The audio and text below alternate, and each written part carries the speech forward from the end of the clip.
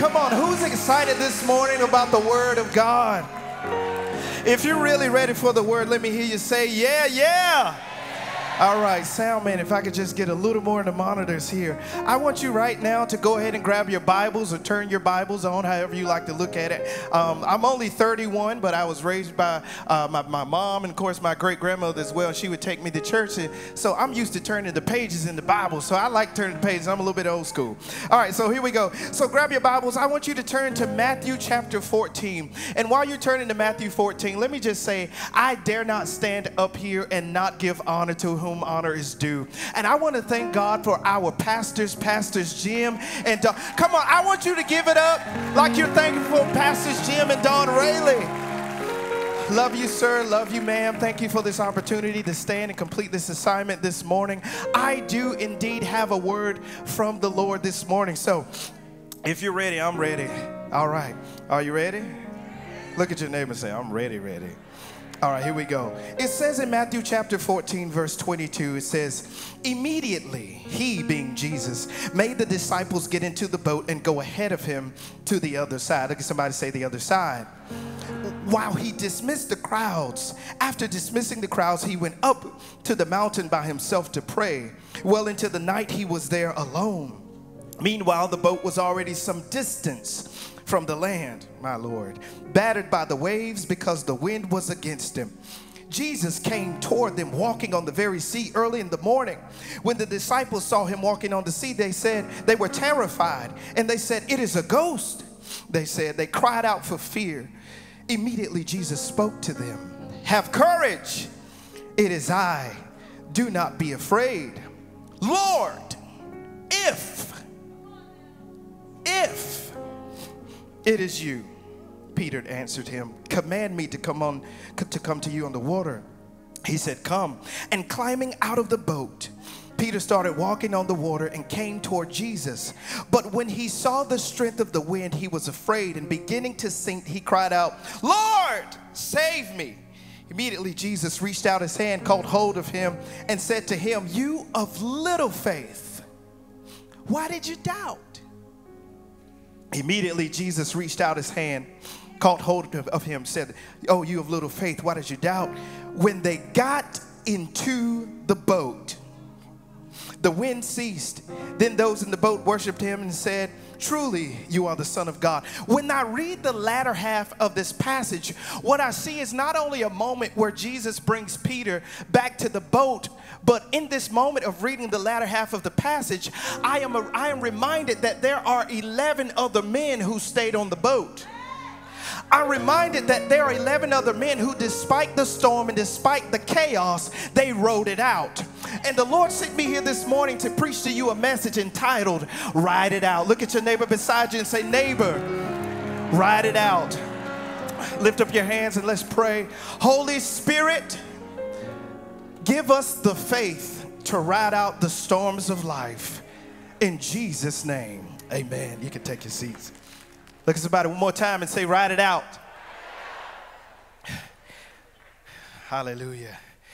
In the New Testament, there are four gospels Matthew, Mark, Luke, and John. And the author of each of each gospel, they write in such of a way to paint a portrait of Jesus. And by painting a portrait of Jesus, what I simply mean is, is that as you read the words that are pinned on the page, you are able to get a mental picture of Jesus, of who he was and what he was like when he walked this earth as Emmanuel, God with us. As you read the Gospel of Matthew, what you will notice is that Matthew writes with the intention to present Jesus as King of the Jews. This is significant because around the time of Jesus' birth, King Herod sought to kill him. The reason that King Herod sought to kill Jesus is, is because King Herod, he was the ruler over a specific region. And as the ruler over that region, this region was filled, it was predominantly Jewish. And so the people of Rome, they were often referred to Herod as the king of the Jews. And so this explains why Herod sought so desperately to kill Jesus. This explains why Herod sought so desperately to take Jesus out because he was threatened by him. I want you to know in this room that the powers of hell are, are threatened by you. I want you to know that the enemy is threatened by you. And whenever the devil is threatened by you, he will do whatever he can in his power to try to take you out. And I hope that that, that just helps somebody understand the attack that you've been under. It's because hell is nervous, hell is threatened, hell is threatened by the fact that you've been called by God, hell is threatened by the fact that you've been chosen by God, hell is threatened by the fact that you've been called out of darkness and into the marvelous light. If you know you've been chosen by God, why don't you give him a shout of praise? You've been called, you've been called by God. You have great potential. You might not think that you are much in your own eyes, but I want you to I want you to understand something that God can use small people or small things to do big things. And God's going to use some people in this room to turn the world upside down and hell is threatened by you. And so King Herod, he wanted to kill Jesus because he was threatened by him. And I love the fact that although this took place in history, Matthew was still intentional. He was still intentional about presenting Jesus as King of the Jews. stay with me. He was still intentional about presenting Jesus as King. Because I want you to understand something Jesus is King. Look at somebody around you and say, Jesus is King. And where the King has come, the kingdom has come. So, the birth of Jesus and the beginning of Jesus' ministry is the inauguration of the kingdom. It is, as you read throughout the book of Matthew, you will see that his, his birth and his, the beginning of his ministry is the advent of the kingdom. Jesus is a king who came to this earth with a mission. He did not just come to bring the kingdom to the earth, but he came to spread the kingdom throughout the earth. And Jesus understood something that if he was going to successfully fulfill the, mystery, the mission that he came for, then he needed some help.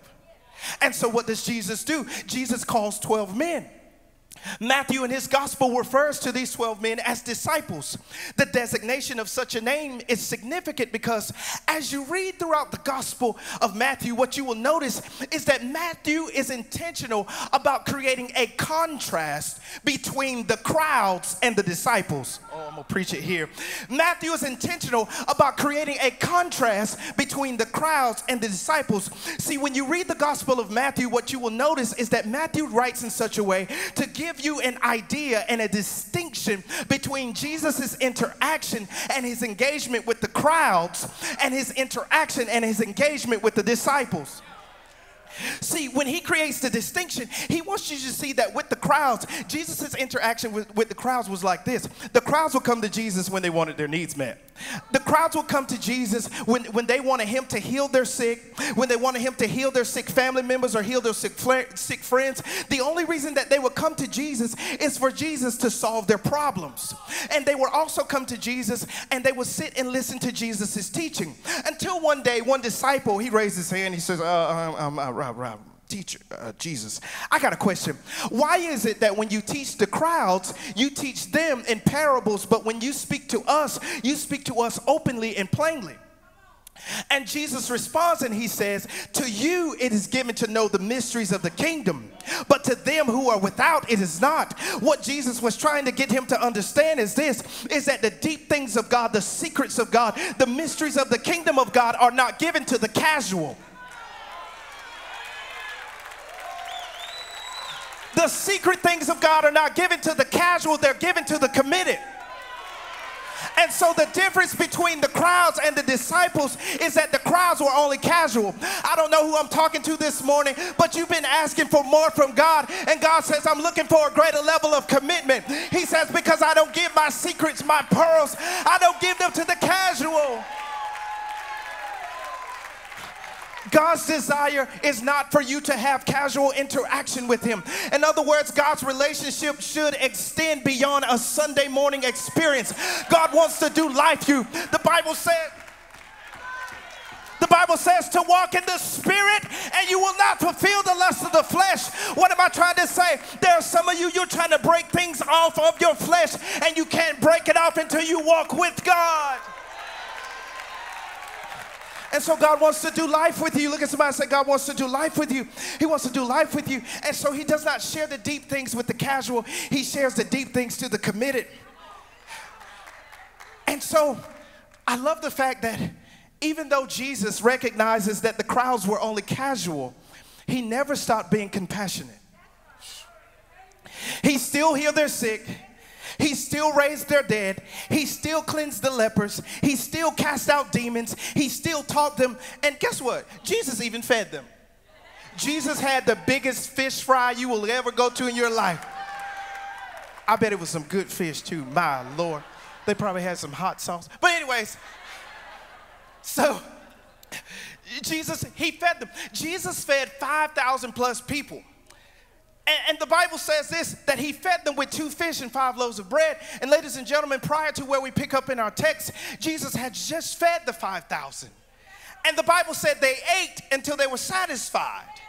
And I want you to understand something. Immediately after they ate until they were satisfied, after Jesus fed them, the Bible says this the Bible says that immediately Jesus made his disciples get into a ship and go to the other side while he dismissed the crowds. Watch this, don't miss the contrast in the text. He gave the crowds a dismissal, but he gave the disciples direction and a destination. What I'm trying to tell you this morning is this is that when you are a disciple of Jesus, when you are in relationship with God, when you walk with God, when you are committed to God, when you are faithful to God, your life is joined to Jesus, his life is joined to yours, and you are faithful to him. Your highest allegiance is to Jesus. I want you to know this morning that when you are in relationship with Jesus, you have benefits. Look at somebody and say, I got benefits. You got benefits. And, and, and, and one of the benefits of being in relationship with Jesus is this one of the benefits is that you have a sense of direction in life. There are some of you in this room, you have been wondering and wandering around in life trying to figure out what, do, what am I supposed to do with my life? And you are wasting time. And the only reason that you're wasting time is because you don't have a sense of direction. And so Jesus' desire is to give you a sense of direction. Look at somebody one more time and shout it from the top of your lungs I got benefits. Woo. Healing is a benefit, deliverance is a benefit. Breakthrough is a benefit. Increase is a benefit. Why don't you shout one more time for the benefits of heaven? You got access to the Father. Why don't you shout hallelujah? Because that's a benefit.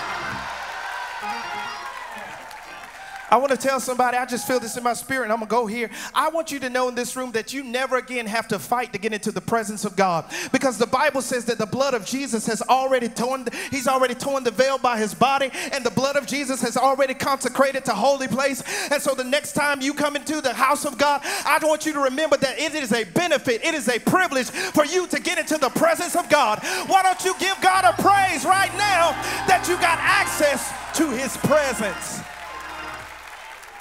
And so they have a benefit. But what I love about this moment too, oh, I'm getting excited because I've been I've been ready to preach. I don't think I preached in a while. Um, and so yeah, so y'all gonna get it all this morning. And so the, the disciples were made to get into a boat. And if you look up this word made in the Greek, the implication here, here's what the implication is, is that when Jesus made them get into a boat, he did it with a sense of urgency. Are you sensitive enough to the voice of God? Are you sensitive enough to the leading of God? Are you, are you able to discern when God puts a sense of urgency in your spirit that He's ready to move on to the other side? In other words, are you sensitive enough to know when God is ready to move to the next level? Because I want you to understand something in this room that your relationship with God and your walk with God was never meant to be one sided. It was never meant to remain on one level. You should always be going from glory to glory, and you should always be going from faith to faith. You should always be going from one level to the next, and He is ready to move on. There are some of you, God's ready to go to the next level in your parenting. God is ready to go to the next level in your career. God is ready to go to the next level in your marriage.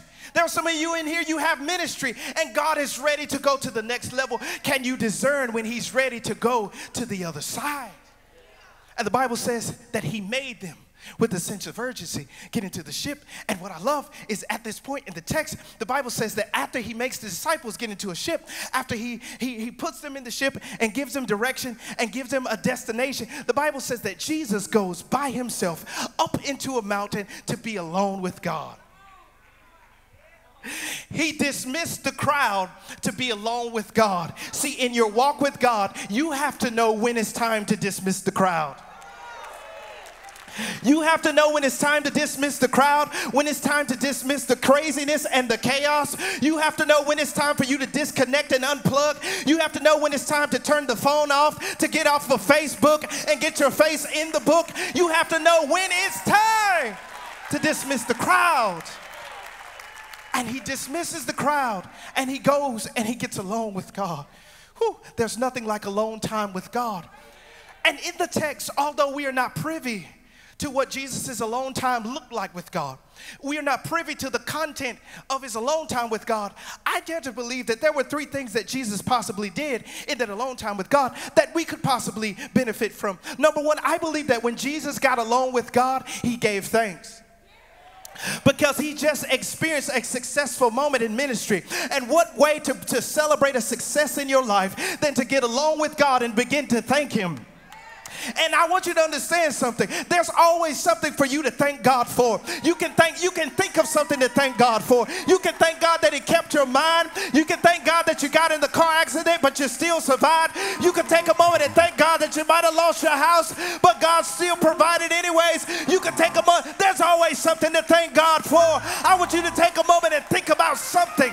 And the more you think, the more thankful you become. Think about something right now and begin to thank God. Hallelujah. There's always something to thank God for. I would I believe that we would complain a lot less if we became a lot more thankful. Lord, thank you for my children. Lord, thank you for my marriage. Lord, thank you for this job. Lord, thank you for this house. Lord, thank you for my finances. Lord, thank you for this nation. Lord, thank you for our president. Lord, thank you for our governors. Lord, thank you for our senators. Because I want you to understand something that God always wants you to be thankful. You may not agree, but be thankful. I want you to look at yourself right now. Do you see it? Do you see you see your arms moving? Now take a moment and thank God for breath in your lungs.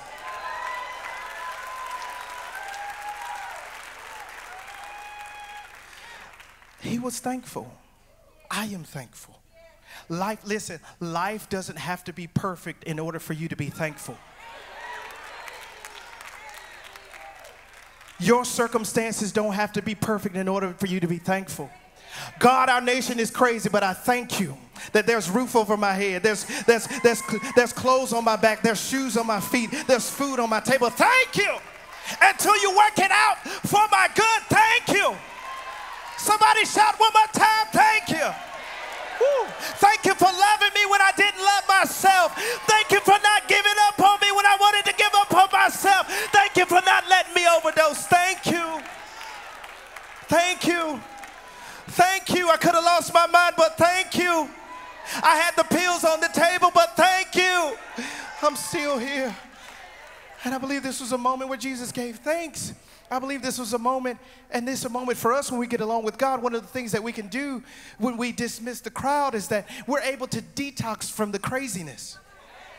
We're able to detox from other people's problems. What am I trying to say to you this morning? There are some of you in this room. I want you to know that it's okay for you to care and be concerned, but it's not okay for you to carry.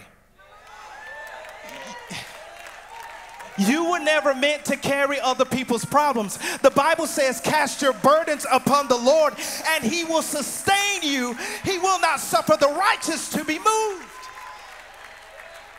And so, when you go into prayer, you give all of your burdens and other people's problems, as you give those concerns to Him, you offer them up to Him. Now, this is not the only opportunity for you to, to, to be able to detox from other people's problems, but it's also the place, Pastor Liz, where you can detox from other people's praises.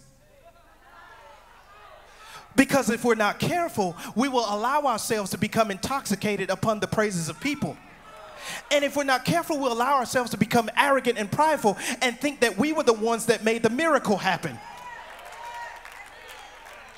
Jesus even understood this reality. How do I know? Because if you read John's version of this story, what you'll find is that the Bible says that Jesus realized that they would try to come and take him and make him king by force. And the Bible said that he withdrew himself. Why? Because Jesus understood something. Jesus understands that you should never allow people to promote you to a place that they can't keep you.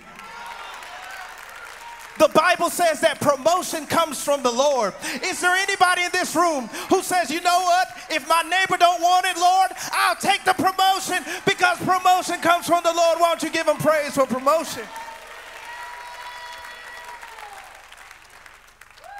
And in your quiet time, your alone time with God, it is also where you can find clarity on your next move. I was in prayer and the Lord told me, He said, I want you to tell somebody in the room that there are some of you in this room, you have been too busy for God. That's why you cannot find the clarity that you're looking for. The Lord says that if you just take a moment and you get still and you get along with me, He said, I promise you I can work this thing out better than you can on your own. And so Jesus is up in a mountain. He's alone with God. He's thanking God. He's detoxing. He's finding clarity. He's worshiping the Lord. He is alone with God. And while he's up in the mountain alone with God, his disciples are on a boat out at sea in the midst of a storm. His disciples are where he told them to go. His disciples are where he told them to be, and they are going where he told them to go, and yet they're in a storm. The Bible says that the waves battered against the, the ship. The Bible says that the waves battered against the boat, and it says that the wind was against them. They're right where Jesus wants them to be in the boat, and they're going where Jesus told them to go, and now they are facing opposition. What do you do when you're right where God wants you to be. You're doing what He told you to do. You're going in the direction that He told you to go, and now you're facing opposition. He told you to fill out the application to go back to school, and all of a sudden you're experiencing financial opposition. What do you do? What do you do when you've been praying for your son and praying for your daughter, and all of a sudden you're experiencing opposition? It just seems like they keep going in the wrong direction. What do you do when you know, I know I heard him and I'm obeying what he told me to do and they're experiencing opposition. Here's what I've learned. Anytime you're doing anything significant for God, anytime you are headed somewhere significant for God, there will always be opposition on some level. There will always be opposition on some level because here's what I want you to understand that hell is absolutely petrified and terrified of your arrival because hell knows that the moment that you have arrived, you didn't just show up, but what you have done is that you have taken territory for the kingdom of God. I just heard this in my spirit. I don't know who's been applying for a job and you got denied. The Lord told me to tell you to go back again. And so, in this moment, they're facing opposition, and the Lord spoke to me. He says, There are people in this room and people who are watching, watching online. We have to learn how to discern the nature of the opposition. Ooh. We got to learn to discern because mo for most of us, the moment that we start experiencing opposition, here's what here's what most of us typically do. We start to go, well, I guess this must be a sign from God that it's not meant to be. I guess this is God telling me that he changed his mind. He don't really want me to have that house. I've been praying and fasting, putting on my prayer cloth, and I've been in there. I've been tearing for God all night. Maybe he done changed his mind. I guess I'll move on with my life. Let me tell you something about God. God does not play with your destiny.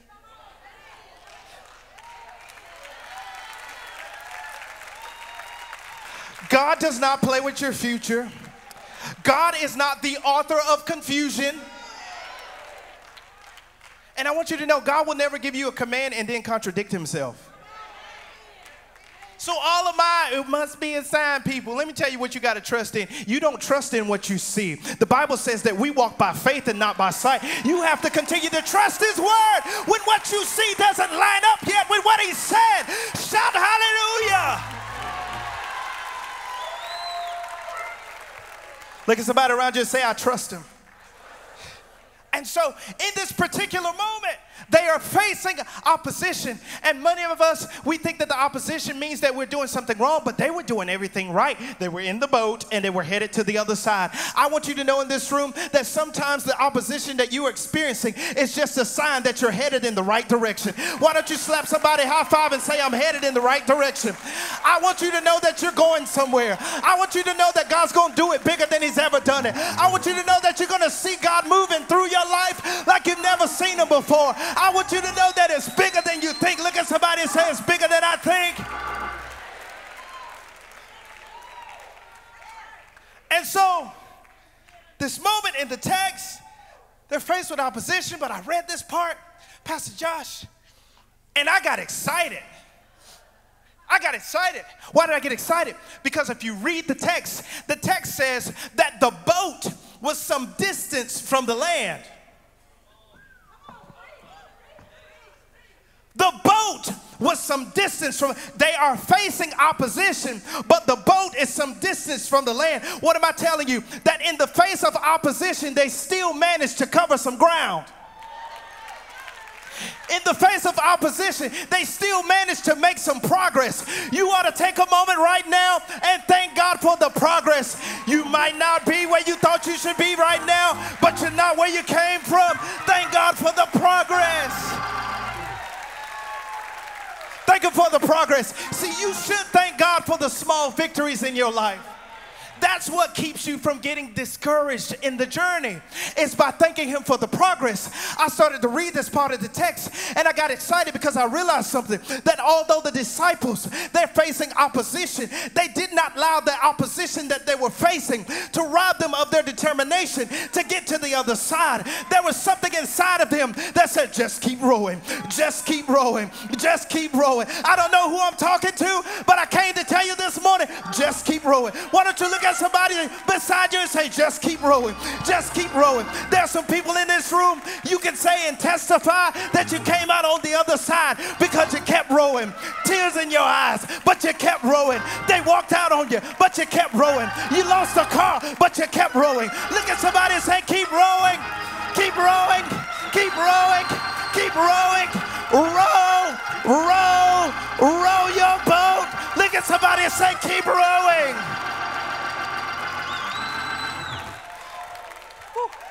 Thought you were going to lose your mind, but you kept rowing. That man walked out on you, but you kept rowing. Kids seemed like they were going crazy, but you kept rowing. Sickness in your body, but you kept rowing. They laid you off on your job, but you kept rowing. You had COVID in your body, but you kept rowing. Cancer hit your body, but you're still rowing. Look at somebody and say, keep rowing, keep rowing, keep rowing, keep rowing. They kept rowing. They kept rowing. Look at somebody and say, keep rowing, keep rowing. Keep making progress. Keep going in the direction that he told you to go because there's another side. It's only a matter of time before this thing turns around. It's only a matter of time before this thing begins to shift. It's only a matter of time to where you get to where God wants you to be. Just keep rowing. And so they kept. The next time you experience opposition in your life, and I know it might be uncomfortable, just look at yourself in the mirror and say, The next time your spouse is going through opposition and you're right there supporting them, you got to remind them. The next time you go to the doctor and before the doctor even comes in to give you a report, just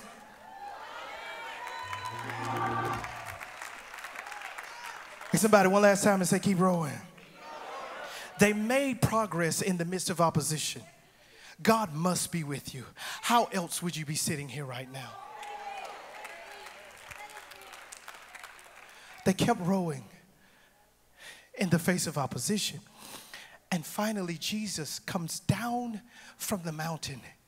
And the Bible says that he, walks on the water. Whew, I'm getting excited. He walks on water because the way that the text reads, the text reads, Jesus walking toward them. Because even when you're in the midst of a storm, Jesus draws near. Because he promised that I would never leave you nor forsake you. In fact, David takes it a step further. He says, The Lord is a very present help in trouble. So you might be in trouble today, but God hasn't left you. You might feel abandoned, but God is still with you. God says that if you're in trouble, I'm in trouble too. We're in trouble. We're going to be in this thing together. But the Bible says many are the afflictions of the righteous, but the Lord delivers him out of them all. Trouble does not last always. Weeping may endure for a night, but joy, somebody shout at me, joy. Ooh, I feel the anointing. And he comes walking toward them. And he says, Bible says that they cry out in fear. They're afraid. They're like, whoa, this is a ghost. And Jesus does something that I love. The Bible says, and Jesus speaks. Because I want you to understand something in this room that not only does Jesus draw near in the midst of the storm, but I'm thankful that he speaks. There are some of us in this room, we can truly testify. It's because of the voice of God that we got through some of the craziest times in our lives. He speaks, and as Jesus speaks, the Bible says he, he spoke. I want you to know he spoke with the intention to bring them comfort. He says, Have courage. It is I. Don't be afraid. And Jesus says, He says to, he says to the disciples, Don't be afraid. And then all of a sudden, one man speaks up. We know this man. What's his name? Peter. Peter speaks up. And Peter says, Lord. First of all, he calls him Lord. Fair. And then he goes, If. Wait a minute now. Either you're certain or you're not. He goes, Lord, if, I want you to understand something. If is not a word of faith, if is not a word of certainty, if is a word of doubt and uncertainty. And so when Peter says, if it is you, Peter is not talking in faith, Peter is talking in doubt.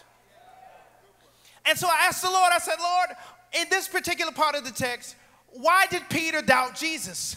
Now, most theologians and scholars and preachers have often interpreted this part of the text as when Jesus walks up, the reason that Peter could not recognize it was Jesus was because Jesus shows up in a different form. He shows up in a way that, that they had not seen before. And that is true. The reality is that sometimes God will show up in ways that you've never seen before because God doesn't like to be predictable. As my spiritual father, Josh Carter, would say, he would say this. My spiritual father would say this anything that is predictable loses impact. And so God doesn't like to be predictable. Thank God for my, my spiritual father, Pastor Josh Carter. Anything that is predictable loses its impact. And while that may be one interpretation, of this part of the text, I was in prayer and I kept meditating on. I said, God, it's got to be more. And God says that there's something deeper. Can I go deeper? Isn't that what he was saying? Can I go deeper? Can I really go deeper? Watch this. Ladies and gentlemen, this was not the first storm they've been in. This is what I came to preach to you today. This was not the first storm. The first storm of the disciples and Jesus on a ship, Jesus was asleep at the bottom of the ship. And the disciples, they come and they wake Jesus up and they say, Master, don't you care that we're gonna die? And Jesus gets up from the bottom of the ship. He comes out, and the Bible says he rebukes the wind and he calms the sea. Don't miss it. In that particular moment, Jesus displays his power and his authority. So it is, it is possible that the reason that Peter was unable to recognize that it was Jesus is because when we were in the last storm, when we were in the last storm, you stopped it. But in this storm, you've shown up and you haven't stopped it yet. What do you do when you know God has the power and authority to change a situation and He hasn't done it yet? This is what I have to get to you. If you're taking notes, write this down. There is an element of mystery in your faith. There's an element of mystery. What do I mean by an element of mystery? I don't mean spooky. I don't mean mystery. Oh. No, an element of mystery simply means this there are just some things that God chooses not to make known to us. There are just some things that God chooses not to explain to us. There are just some questions that God chooses not to answer. And we tell ourselves that I could just have more peace and I could have more comfort if I just had more answers. But I want you to understand something that's not how faith works. Faith doesn't come from having more answers. Faith is trusting God's unchanging intentions when you don't have all the answers. I'm gonna say it again. Faith is trusting God's unchanging intentions when you don't have all the answers. And there are some of you in this room, you are like, man, I, I believe God. I know He has the power. I know He has the authority to heal my body, but He hasn't done, done it yet. Can I help you in this room? You don't allow the experience of what hasn't happened yet to change the reality of God's intentions. It's still His will for your body to be healed. It's still His will for you to be delivered. It's still His will for you to be set free. It's still the will of God. Look at somebody say, is still His will. What we do sometimes is we allow what we experience to cause us to redefine God's intentions. You never do that. The Word of God is the same yesterday, today, and forevermore because He's the same yesterday, today, and forevermore. And never allow your experience to change truth. And so Peter is uncertain. And I'm getting ready to close here. He's uncertain about whether this particular moment, if it's Jesus or not. And so, what does Peter do? Like many of us do at times, is that when we are uncertain and, we, and when we are doubtful, we offer up our own suggestions.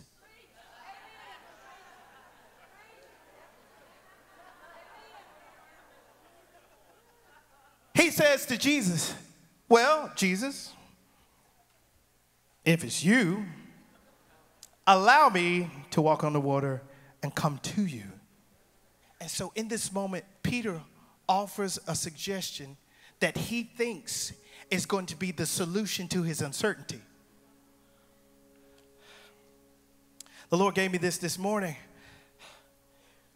You have to remember where Jesus came from. Jesus came from the direction that they came from. And the Lord showed me this this morning. He said, So when Peter, although it seemed like a noble thing for Peter to step out and to step towards Jesus in that direction, was Peter actually taking some steps backwards. Because most of the time in our lives, that's what tends to happen. When we're uncertain and we're doubtful, we think that's what's going to soothe the doubt if we just take a couple of steps backwards.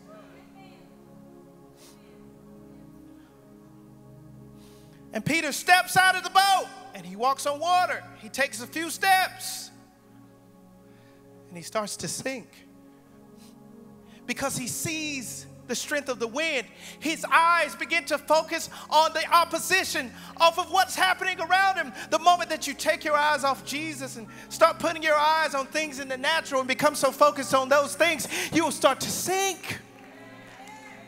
And Peter is not just sinking in water, I want you to know that Peter is also sinking in his own uncertainty. Peter is sinking in his own doubt. Peter is sinking in his own fears. And there's some people in this room this morning, you're sinking, you're sinking, you're sinking. You're sinking in depression, you're sinking in anxiety, you're sinking in fear, you're sinking in stress, you're in over your head. There's some people in this room, you're sinking, you're sinking, you're sinking in addiction, you're sinking in frustration, you're sinking in pain. You are sinking, you're sinking. And Peter was sinking. But I love what he does. He cries out while he's sinking.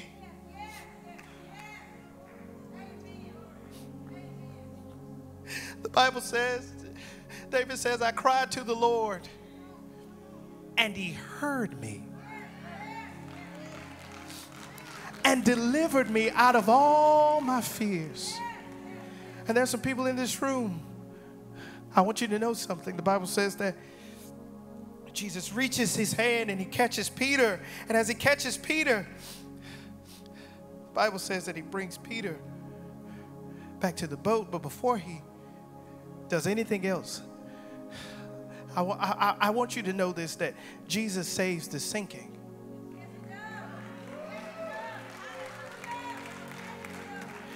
Is your marriage sinking? Jesus saves the sinking.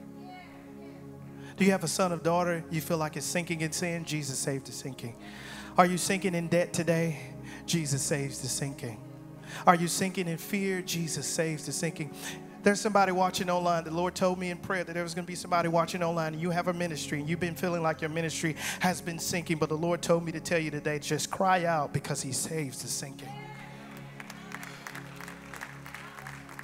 I'm almost done here. He brings Peter back to the boat. And he looks at Peter. He says, Oh, you of little faith, why did you doubt? Now, I read this and I got a little bit confused because I'm like, Lord, what do you have against little faith? Didn't you say if we have faith the size of a mustard seed, we can speak to a mountain and be removed? There's a difference between small faith and little faith. Here's the difference mustard seed faith, you have to understand about the mustard seed, is that when you plant it, it grows. You, your faith might start small, but it's not meant to stay small. However, in this particular context, when Jesus speaks of little faith, if you look at it, uh, look up that in the Greek, the implication here is this. Here's how it's translated: "Oh, you who trust too little, why did you doubt?" Peter, why didn't you trust my intentions? Do you really think I would put you in a boat and send you to the other side to get you in a storm that would destroy you. Peter, don't you trust the fact that I have your best interest? Don't you trust the fact that God wants what's best for you? And he, he brings them into the boat. And I'm closing here. As they get into the boat, it was at that moment when I was reading the text that I was reminded that there were uh, 11 other men who stayed in the boat. The Lord told me to tell you this morning that the faith in the text was not in Peter stepping out. Because Peter didn't step out in faith, Peter stepped out in uncertainty. Jesus did not walk on water to show Peter that he could. Jesus didn't walk up to the boat and go, Hey, want to walk on water today? That was Peter's suggestion because of his doubt. When Jesus shows up, Jesus was walking on water as a means to get to the boat, to join them in the boat. That's why you have to stay where he wants you to be because he's coming.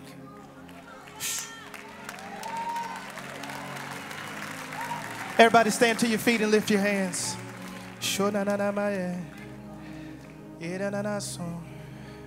There were 11 other men who stayed in the boat. The faith in the text was not in Peter stepping out.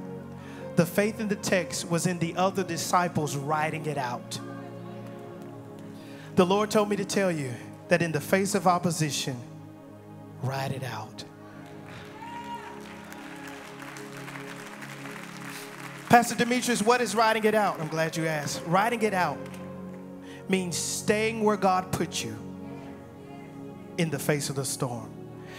Riding it out is trusting God's intentions in the face of opposition. He wants you to ride it out. And the Bible says, here it is, that when they get in the boat, that everybody in the boat, whoo, I feel the anointing right here, they start to worship him, saying, Truly, this is the Son of God after experiencing all that they experienced in the storm, they got a revelation of God that provoked a worship. And with your eyes closed and your hands lifted, I want you to worship God this morning based off your revelation of who He is. Come on, worship. Let your revelation provoke you. Let your revelation provoke your worship. Come on and worship. Come on, worship Him. Come on and worship Him. Out of your belly, worship Him. That means from your innermost being. Come on, worship Him. Worship, worship. God, you're mighty. God, you're gracious. God, you're holy. God, you're worthy. We love you. You're faithful. You're good. You're gracious. Thank you. Thank you. Thank you. We love you. Come on, worship it. Come on, lift it up, lift it up, lift it up, lift it up, lift up your worship. What you know about Jesus, worship him based on that. What you know about Jesus.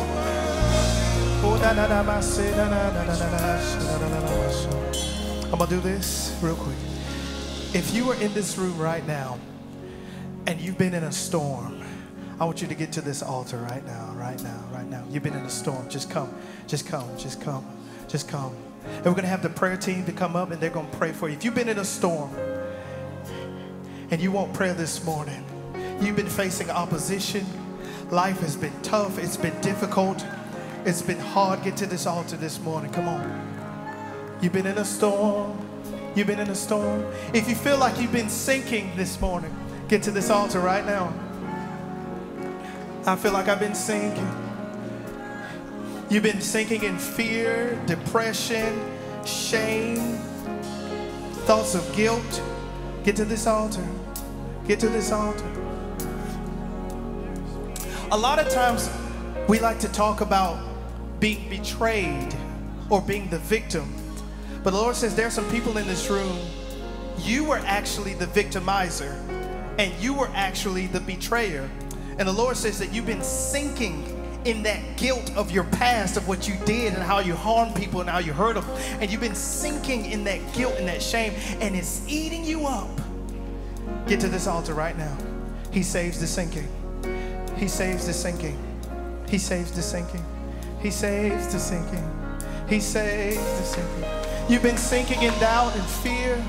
Some of you, you've been sinking in so much worry. You're worried about family members. And God says, I got you under control. I have them under control because I saved the sinking. And I'm going to do this real quickly, and then I'm going to pray for some people. There are some people in this room, you've been sinking in sin, sinking in sin. Jesus saves every sinner.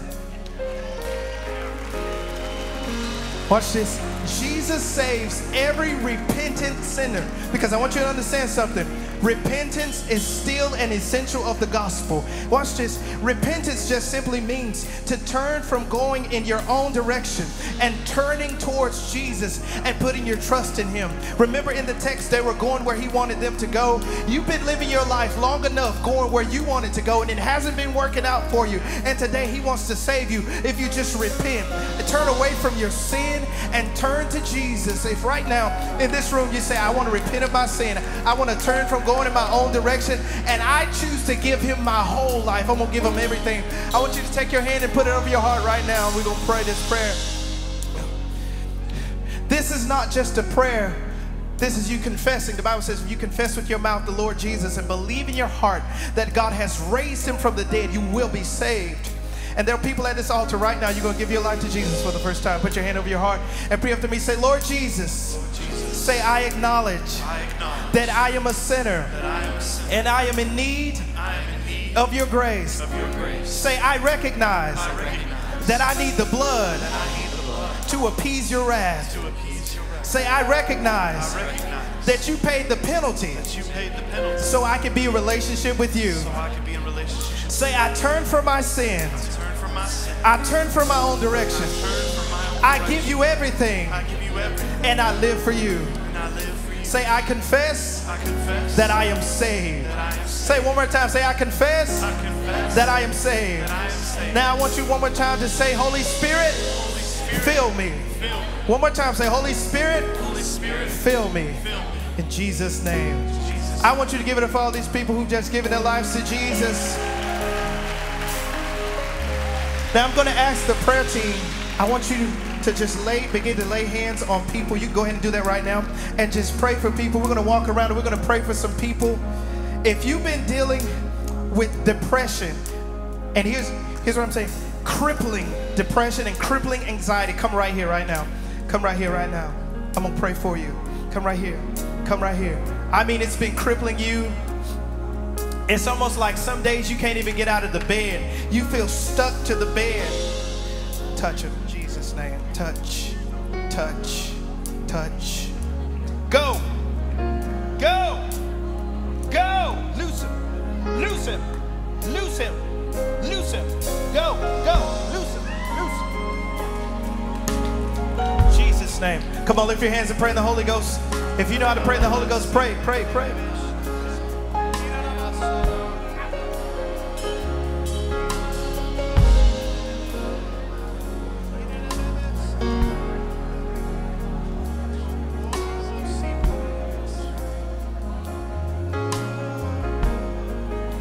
Your hands, begin to pray. Come on, pray in the Holy Ghost. Jesus. Jesus. The Lord says, I'm making myself so real to you today. God says you'll never forget this moment. And the Lord says that in the years to come, you'll be able to testify about how real I made myself to you. The Lord says that you felt like you were overlooked, but God says, I have not overlooked you. I never forgot you. God says, I love you with an everlasting love. He says, You are my daughter. You are precious to me. He says, Your life from this day forward will never be the same. Never the same. Never the same. Never the same. Never the same.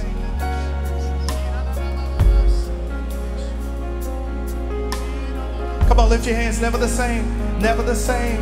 Never the same. Now I command it to break, break, break, break. Every stronghold in your life, it comes down now. It comes down. God says, I'm lifting the heaviness off. I'm lifting the heaviness off and I'm bringing great breakthrough. Come on, lift your hands and pray, saints. Pray. Pray in the name of Jesus. God, touch, touch, touch, touch, touch in the name of Jesus. God, give him the courage and the strength that he needs. Give him the courage and the strength that he needs to fight it. I pray, God, the same spirit that was on Joshua, God, that you put him on him in the name of Jesus. Touch, touch, touch, touch, touch. God says, I'm lifting the load. I'm breaking every foul thing off of your life today. God says, I'm doing a new thing in your heart. He says, I'm turning your life around. God, glory, glory, glory. There it is, glory. That's what it is. That's the glory of God. That's the glory. Come on, lift your hands. Come on and lift your hands. Lift your hands. Lift your hands.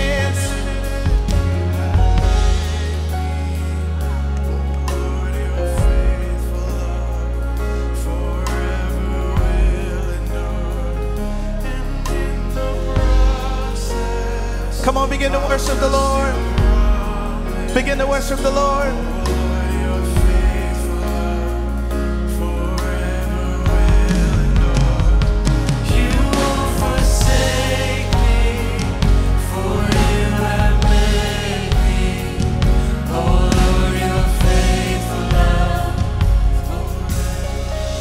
Well, I'm gonna do this and I'm, and I'm, I'm, gone, I'm gone. The Lord spoke to me in prayer. He said, I, I was in I was in prayer this morning. I shared with Pastor Christian earlier that I saw God breaking off addictions. And uh, what I saw in prayer was I literally saw needles being dropped at the altar. I saw cigarette packs. I saw lighters being dropped at the altars. And what's interesting is that during worship earlier, I don't know if many of you saw, but there was somebody who came up and they dropped off their needles at the altar. And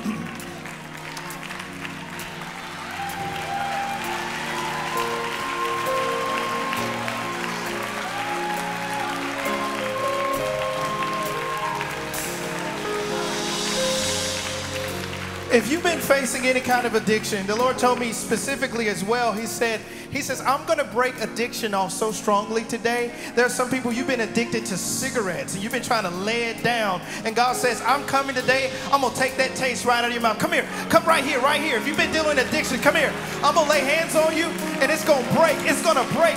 Be broken, be broken, be broken, be broken, be broken, be break, break, break, break, break, break, break, break, break, break, break. Off of his life, God changed the taste. Take it out of his mouth, take it out of his heart. In the name of Jesus, let it break, let it break, let it be broken, let it be broken, let it be broken, let it be broken. Bring her here, bring her here. Today is a new day. It's a new day. Fire, fire, let it be broken. Take the taste away. Go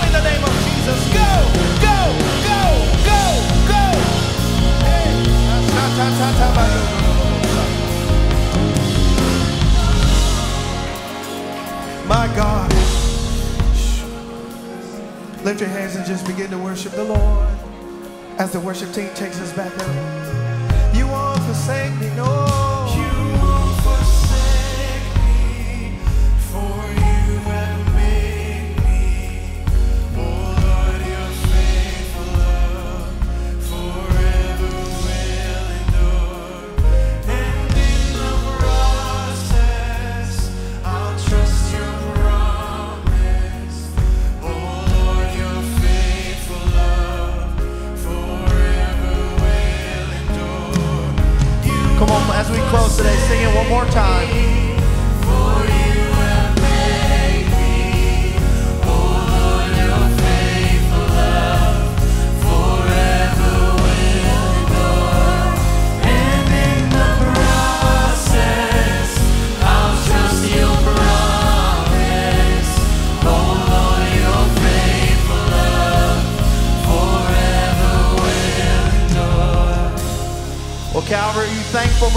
Done in this house today? Oh, come on, you can do better than that. People were saved in this house today. Come on, you can do. People were delivered in this house today. Addiction was broken in this house today. So I ask you one more time, Calvary, are you thankful for what God's done in this place today? Come on, amen, amen. Real quick, before you go, I want to bless you. Will you put your hand on your neighbor's shoulder? We got a couple of quick things to cover really quick. If you're our first time guest, we would love to meet you in Guest Central. It's through those doors to your right, my left, in our chapel. Make sure if you're a first time guest, we can welcome you to the family. Next week, Sunday, September 19th, is baby dedication. If you have a little one that you want to dedicate to the Lord, visit calvaryfl.com. You can sign up for that. Uh, also, next Friday night, where are all my men at? Oh, come on, men. The women had an incredible night at Glow this past Friday night, and men, we're going to get together this Friday night at 7 p.m. to do it. Men, don't miss our men's one night this Friday night at 7 p.m. You can get more information about that at Calvary online, calvaryfl.com. And then finally, next Sunday night is Revival Sunday. Pastor Raley will be with us in the building on Sunday morning. Everybody love Pastor. Thankful for our pastors in this room. Pastor Kevin Wallace will be with us that night at 6 p.m. We also have baptisms that night. But Calvary, before you go, I want to bless you. I want to bless you and pray for you. So here's what I pray today. I pray that the Lord bless you and keep you. I pray that you're blessed in the city and blessed in the field. I pray that you're blessed in your comings and your goings. I pray that your business is blessed, that your finances are blessed, that your family is blessed, and that through the blessing you will be a light to the world around you. In Jesus' name we declare, amen, amen. Calvary, we love you so much. We'll see you next Sunday for Revival Sunday. Pastor Raley in the morning, Pastor Kevin Wallace in the evening. We'll see you next week. Thanks for watching the message. I'm sure this spoke to you. Here's what I want you to do. Why don't you subscribe to this YouTube channel? That way, every time there's a new message, you'll get to hear it. Also, many of you have watched this, some of you watch on a regular basis. Why not take time and sow? You can give at calvaryfl.com, you can give on your phones, and you can be a part of helping us take this message around the world the message of hope, the message of Jesus Christ. Can't wait to see you back here real soon.